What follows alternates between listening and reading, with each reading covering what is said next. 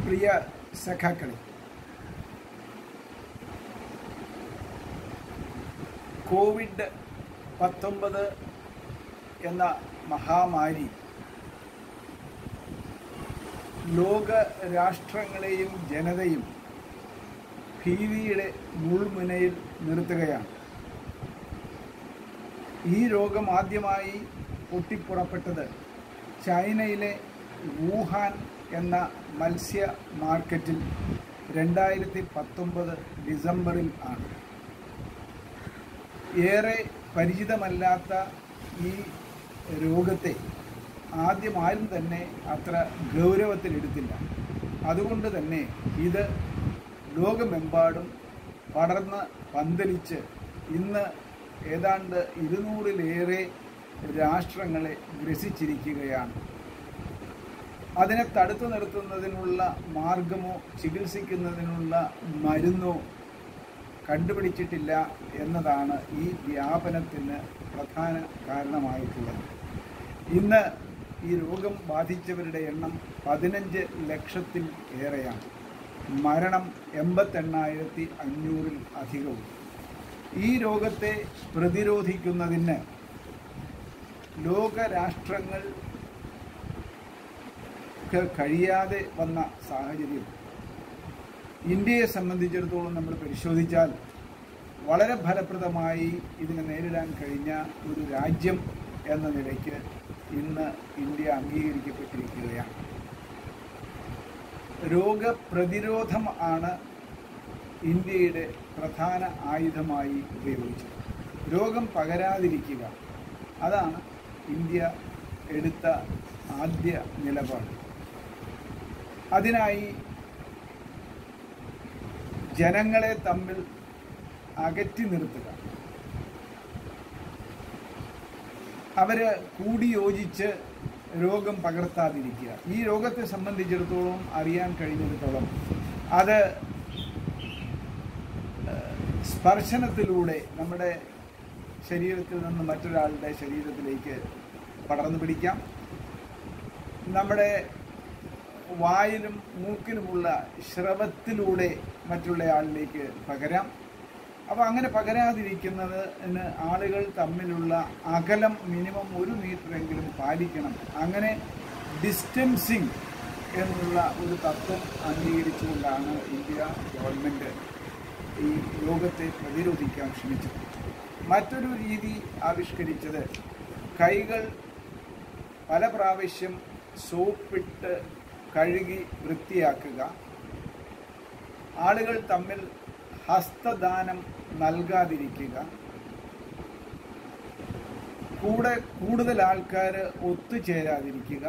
അങ്ങനെയുള്ള നിരവധി നിർദ്ദേശങ്ങളുടെ കൂട്ടത്തിൽ തന്നെ രോഗബാധ ആരംഭിച്ചു കഴിഞ്ഞപ്പോൾ ലോക്ക്ഡൗൺ സമ്പ്രദായവും ഇന്ത്യ നടപ്പാക്കുകയുണ്ടായി യാത്രാ വിലക്കുകൾ ഉണ്ടായി. വിമാന സർവീസുകൾ ട്രെയിൻ സർവീസുകൾ ബസ് സർവീസുകൾ ഒക്കെ വിലക്കിക്കൊണ്ടുള്ള ലോക്ക്ഡൗണും നമ്മുടെ രോഗ പ്രതിരോധത്തെ ഏറെ സഹായിച്ചിട്ടുണ്ട്. ഇന്ത്യയുടെ ഈ നിലപാടിനെയും ഈ രോഗത്തെ നേരിടുന്ന സമ്പ്രദായത്തെയും അംഗീകരിച്ചുകൊണ്ട് ലോകരാഷ്ട്രങ്ങൾ നമ്മുടെ പ്രധാനമന്ത്രിയോട് അഭ്യർത്ഥിച്ചിട്ടുള്ളത് കോവിഡ് പ്രതിരോധത്തിന് ലോകത്തെമ്പാടുമുള്ള രാജ്യങ്ങൾ ഒറ്റക്കെട്ടായി നീങ്ങണമെന്നും അതിന്റെ നേതൃത്വം ഇന്ത്യ ഏറ്റെടുക്കണം എന്നുമാണ്. മാത്രമല്ല ഈ രോഗത്തെ ചികിത്സിക്കുന്നതിനാവശ്യമായ മരുന്നുകൾ ഇന്ത്യ നൽകണം എന്ന് അമേരിക്ക ബ്രിട്ടൻ തുടങ്ങിയ പല രാഷ്ട്രങ്ങളും ആവശ്യപ്പെടുന്ന ആവശ്യപ്പെട്ടിട്ടുള്ള ഒരു അവസ്ഥയും കൂടിയാണ് നമുക്ക് ഇന്ന് കാണാൻ കഴിയുന്നത്. ലോകത്തിന് മാതൃക ഇന്ത്യയാണ് എങ്കിൽ ഇന്ത്യയ്ക്ക് മാതൃകയായി നിൽക്കുന്നത് കേരളമാണ് കേരളത്തിൽ കോവിഡ് പ്രതിരോധം വൻ വിജയമായി എന്ന് പറയുന്നതിൽ ഒരു സംശയവും ആർക്കും ഉണ്ടാവേണ്ടതില്ല. കാരണം അത്ര ഫലപ്രദമായിട്ടാണ് കേരളത്തിൽ കോവിഡിനെ പ്രതിരോധിച്ചിട്ടുള്ളത്. ഇവിടെ ഗവൺമെന്റ് നിർദ്ദേശിക്കുന്ന എല്ലാ കാര്യങ്ങളും കേരളത്തിലെ ജനങ്ങൾ അക്ഷരം പ്രതി അനുസരിക്കുന്നു എന്നതാണ് ഈ പ്രതിരോധത്തിന്റെ വിജയത്തിന്റെ ഒരു കാരണം. മറ്റൊരു കാരണം നമ്മുടെ പ്രതിബദ്ധതയോടുകൂടി പ്രവർത്തിക്കുന്ന ആരോഗ്യ സംരക്ഷണ ഡിപ്പാർ ആരോഗ്യ സംരക്ഷണ ഡിപ്പാർട്ട്മെന്റും ആ ഡിപ്പാർട്ട്മെന്റിലെ ഡോക്ടർമാരും നഴ്സുമാരും അറ്റൻഡർമാരും ക്ലീനർമാരും ഒക്കെ അടങ്ങുന്ന ഒരു വലിയ സമൂഹം ഡെഡിക്കേഷനോട് കൂടിയിട്ട് പ്രവർത്തിക്കുന്നു എന്നതാണ്. മറ്റൊന്ന് ജനങ്ങളെ നിയന്ത്രിക്കാൻ രാപകലില്ലാതെ കഷ്ടപ്പെടുന്ന പോലീസ് സംവിധാനവും നമ്മെ സംബന്ധിച്ചിടത്തോളം വളരെ വളരെ ഫലപ്രദമായി കാര്യങ്ങൾ നടത്തുന്നു. അങ്ങനെ നിയന്ത്രണങ്ങൾ ഏർപ്പെടുത്തിക്കൊണ്ട് കോവിഡിനെ നമ്മുടെ കൊച്ചു കേരളം പ്രതിരോധിക്കുമ്പോൾ അങ്ങനെയുള്ള നിയന്ത്രണങ്ങൾ ഏർപ്പെടുത്തുന്നത് കൊണ്ട് ജനങ്ങൾക്കുണ്ടാകുന്ന ബുദ്ധിമുട്ടിനെ തരണം ചെയ്യുന്നതിന് വേണ്ട നടപടികളും കേരള ഗവൺമെന്റ് എടുക്കുന്നുണ്ട്. കേരളത്തിൽ ഈ നിയന്ത്രണങ്ങൾ മൂലം കടകൾ അടഞ്ഞു കിടക്കുന്നത് കൊണ്ടും കമ്പനികൾ തുറക്കാത്തത് കൊണ്ടും നിത്യ തൊഴിൽ ചെയ്യാൻ കഴിയാത്തത് കൊണ്ടും നിരവധി ആൾക്കാരുടെ വരുമാനങ്ങൾ നിന്നുപോയ സാഹചര്യത്തിൽ അവരാ അവരൊക്കെ പട്ടിണിയിലേക്ക് നീങ്ങുന്ന സാഹചര്യം വന്നപ്പോൾ കേരള ഗവൺമെന്റ് എടുത്തത് കേരളത്തിൽ ഒരാൾ പോലും ഭക്ഷണം കിട്ടാതെ വിഷമിക്കരുത് എന്നതാണ്. അതിനായി ആയിരത്തിലേറെ കിച്ചണുകൾ കേരളത്തിന്റെ വിവിധ കേന്ദ്രങ്ങളിൽ തുറന്നുകൊണ്ട് പ്രതിദിനം രണ്ട് ലക്ഷത്തിലേറെ ജനങ്ങൾക്ക് മൂന്ന് നേരം ഭക്ഷണം കൊടുക്കുന്ന ഒരു സ്ഥിതിവിശേഷം കേരള ഗവൺമെന്റ് സംജാതമാക്കിയിരിക്കുകയാണ്. മാത്രമല്ല വഴിയോരത്ത് കിടന്നിരുന്നവരെയും കിടക്ക താമസിക്കാൻ ഇടമില്ലാത്ത നമ്മുടെ അതിഥി തൊഴിലാളികൾ അതായത് അന്യ സംസ്ഥാനങ്ങളിൽ നിന്ന് കേരളത്തിൽ വന്ന് പണിയെടുക്കുന്നവരെയും ഒക്കെ അവർക്ക് താമസിക്കാൻ ഇടവും ഭക്ഷണവും നൽകിക്കൊണ്ട് കേരള ഗവൺമെന്റ് സംരക്ഷിക്കുകയാണ്. മാത്രമല്ല പക്ഷി മൃഗാദികൾക്ക് പോലും ഭക്ഷണങ്ങൾ നൽകുന്നതിനുള്ള സംവിധാനം ഗവൺമെന്റ് ഉണ്ടാക്കി. ഏതെങ്കിലും ഒരു വിഭാഗത്തിന് ബുദ്ധിമുട്ടുണ്ട് എന്ന് അറിയിച്ചാൽ അതിന് പരിഹാരം കാണുന്നതിന് മുൻകൈ എടുക്കുന്നു ഇതിനൊക്കെ പുറമേ ഇതിനൊക്കെ പുറമേ കേരള ഗവൺമെന്റിനെ സംബന്ധിച്ചിടത്തോളം മുപ്പത്തിയഞ്ച് കിലോ അരി വീതം റേഷൻ കാർഡിൽ A P L B P എല്ലിന് നിൽക്കുന്ന ആൾക്കാർക്ക് മുപ്പത്തഞ്ച് കിലോ അരിയും എ പി എല്ലിൽ നിൽക്കുന്നവർക്ക് പതിനഞ്ച് കിലോ അരിയും സൗജന്യമായി നൽകുകയും ഇവർക്ക് രണ്ട് കൂട്ടർക്കും മറ്റ് ആഹാര കിറ്റുകൾ നൽകുകയും ചെയ്യുന്നതിന് തീരുമാനിച്ച് വിതരണം ആരംഭിച്ച് നടപ്പാക്കിക്കൊണ്ടിരിക്കുകയാണ്.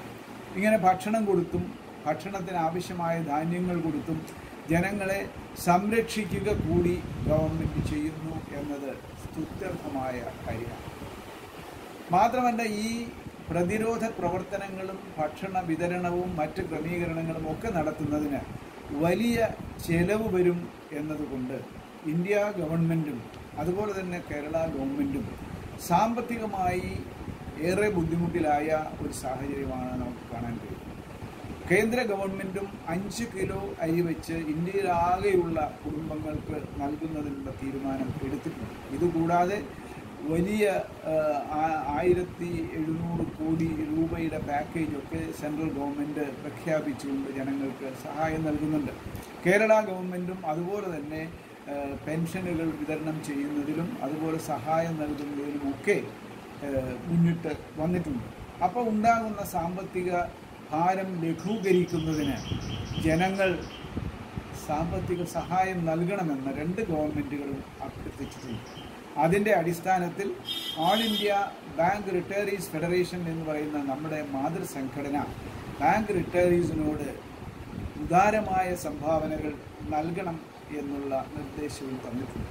നമ്മെ സംബന്ധിച്ചിടത്തോളം നമുക്ക് തൊഴിൽ നഷ്ടപ്പെടുന്നില്ല നമ്മുടെ പ്രതിമാസ വരുമാനത്തിൽ ഒരു കുറവും വരുത്തുന്നില്ല പെൻഷൻ കൃത്യമായി എല്ലാ മാസവും നമ്മുടെ അക്കൗണ്ടിൽ ക്രെഡിറ്റ് ചെയ്യപ്പെടുന്നു. അങ്ങനെയുള്ള നമ്മെ സംബന്ധിച്ചിടത്തോളം നിശ്ചയമായും നമ്മൾ ഓരോരുത്തരും ഉദാരമായ സംഭാവനകൾ നൽകി ഈ ഗവൺമെന്റുകളുടെ സംരംഭത്തെ വിജയിപ്പിക്കുന്നതിന് അതിന്റെ പിന്നിൽ ഉണ്ടാകണം എന്നാണ് എനിക്ക് പറയാനുള്ളത്. അവിടെ എനിക്ക് മറ്റൊന്നുകൂടെ സൂചിപ്പിക്കാനുള്ളത് അങ്ങനെ നമ്മൾ കളക്ട് ചെയ്യുന്ന സംഭാവനയുടെ അറുപത് ശതമാനം സംസ്ഥാന ഗവൺമെന്റുകൾക്കും നാൽപ്പത് ശതമാനം കേന്ദ്ര ഗവൺമെന്റിനുമാണ് നമ്മൾ നൽകുന്നത്. അതുകൊണ്ട് ഉദാരമായ സംഭാവനകൾ നൽകാൻ സഖാക്കളോട് അഭ്യർത്ഥിക്കുന്നു. കേരളത്തിൽ ഇതുവരെ പന്ത്രണ്ട് ലക്ഷത്തിലേറെ രൂപ നമ്മളുടെ അക്കൗണ്ടിലേക്ക് ക്രെഡിറ്റ് വന്നിട്ടുണ്ട്. ഇനിയും നമ്മുടെ ലോക്ക്ഡൗണിന്റെ സിസ്റ്റമൊക്കെ മാറി യാത്രാ സൗകര്യമൊക്കെ ആയിക്കഴിഞ്ഞാൽ അതിനിരട്ടി വരും എന്ന് നമുക്ക് പ്രതീക്ഷയുണ്ട്. എല്ലാവരും സന്മനസ്സോടുകൂടി സംഭാവനകൾ നൽകണം. ചുരുങ്ങിയത് ആയിരം രൂപയും അഞ്ഞൂറ് രൂപയും ക്ലറിക്കൽ ആൻഡ് ഓഫീസേഴ്സ് ആയിരം രൂപയും മറ്റുള്ളവർ അഞ്ഞൂറ് രൂപയും വെച്ച് നൽകിയാലേ നമുക്ക് ഫലപ്രദമായ ഒരു സംഭാവന നൽകാൻ കഴിയൂ എന്നതും നിങ്ങൾ ഓർത്തിരിക്കേണ്ടതാണ്. ഇതിനൊക്കെ പുറമെ ഒരു കാര്യം ഞാനിവിടെ പറയുകയാണ്. ലോകത്തിന് മാതൃകയായി പ്രവർത്തിച്ച നമ്മുടെ ബഹുമാനപ്പെട്ട പ്രധാനമന്ത്രി നരേന്ദ്ര മോഡിയെ അഭിനന്ദിക്കാൻ ഈ സന്ദർഭം ഞാൻ വിനിയോഗിക്കുന്നു. അതുപോലെ തന്നെ തന്റെ ഇടത്തോടു കൂടി ജനങ്ങൾക്ക് ധൈര്യം പകർന്നു കൊടുത്തുകൊണ്ട് നിശ്ചയദാർഢ്യത്തോടു കൂടി കേരളത്തിലെ ജനങ്ങളെ നയിക്കുന്ന ശ്രീ പിണറായി വിജയൻ അവരുടെയും കേരളത്തിലെ ജനങ്ങളെ മുഴുവനും സ്വന്തം മക്കൾ എന്ന നിലയിൽ തന്നെ കരുതലോടുകൂടി പ്രവർത്തിച്ച് ധൈര്യം കൊടുത്ത് സ്നേഹം കൊടുത്ത് നമ്മെ നയിക്കുന്ന നമ്മുടെ ആരോഗ്യ മന്ത്രി ശ്രീമതി ശൈലജ ടീച്ചറിനോടും ഉള്ള സ്നേഹവും അഭിനന്ദനങ്ങളും അതുപോലെ തന്നെ നമ്മുടെ ആരോഗ്യ പ്രവർത്തകരോടും അതുപോലെ മറ്റുള്ളവരോടുമുള്ള നമ്മളുടെ കടപ്പാടും ഇവിടെ രേഖപ്പെടുത്താൻ ഞാൻ ആഗ്രഹിക്കുന്നു. അവസാനമല്ലാതെ അവസാനമല്ല എന്ന നിലയിൽ നമ്മുടെ സഹപ്രവർത്തകരായിരിക്കുന്ന ബാങ്ക് ജീവനക്കാർ അവർ ഈ പ്രതികൂല സാഹചര്യങ്ങളൊക്കെ തരണം ചെയ്തുകൊണ്ട് എല്ലാ ദിവസവും ബാങ്കുകൾ തുറന്ന് പ്രവർത്തിക്കുകയും അവിടെ വരുന്ന ഇടപാടുകാർക്ക് നല്ല സേവനം ചെയ്യുകയും ചെയ്യുന്നുണ്ട്. രാജ്യത്തോടും ജനങ്ങളോടും ഉള്ള പ്രതിബദ്ധത നിറവേറ്റുന്ന ബാങ്ക് ജീവനക്കാരെ അഭിനന്ദിക്കാനും ഈ അവസരം ഞാൻ വിനിയോഗിക്കുന്നു. നന്ദി നമസ്കാരം.